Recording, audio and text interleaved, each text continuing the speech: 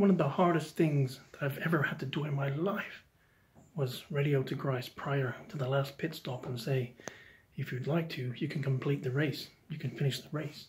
And although I would have done and could have done the last stint happily, I wanted to know in my heart who the strongest driver was.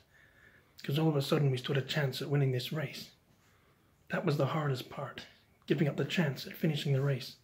But that was my manager's hand, and it was the right thing to do. I don't regret it, but it still hurts. I'd love to have taken the flag.